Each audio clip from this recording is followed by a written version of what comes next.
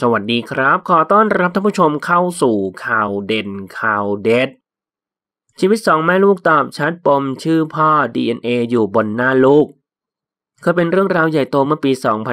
2553 หลังจากดาราสาวที่มีผลงานระดับนางเอกอย่างแอนนี่บรุกประกาศตั้งท้อง แอนนี่ยังได้กล่าวอีกว่าตอนนี้น้องติคายุเริ่มโตแล้วก็อธิบายให้ลูกเรื่อยๆ และบอกว่าทุกคนเกิดมามีพ่อแม่ทั้งนั้น และเราทุ่มเทความรักให้ลูกอย่างเต็มที่ ลูกรับรู้ความรักการดูแลจากเรา ซึ่งอธิบายให้ลูกฟังว่าในโลกนี้มี single mom single dad เยอะมาก อย่างแม่ก็ไม่เคยเจอหน้าพ่อ ลูกก็ไม่ได้อยากรู้อยู่กันสองคนก็มีความสุขดีมากแล้ว ตอนที่มีคนเรียกร้องให้ตรวจ DNA กับฟิล์มแอนนี่บอกไม่ต้องตรวจเพราะ DNA อยู่บนใบหน้าลูกแล้ว และนอกจากจะพูดถึงเรื่องราวการเป็น single mom ตลอด 8 ปีที่ผ่านมาของสาวแอนนี่แล้ว ก็ยังมีการพูดถึงเรื่องของการตรวจ DNA ว่าสุดท้ายแล้วผลออกมาเป็นอย่างไร ซึ่งงานนี้สาวแอนนี่ก็ได้พูดอย่างชัดเจนถึงเรื่องนี้ว่า เรื่องนี้เป็นเรื่องที่หลายคนอยากรู้มากๆ ดูปากนะคะ เพราะมีคนมาตอบคำถามนี้ให้บ่อยมาก เท่าที่ดูคอมเมนต์เวลามีข่าวแล้วมีคนมาถาม ก็จะมีคนเข้ามาตอบให้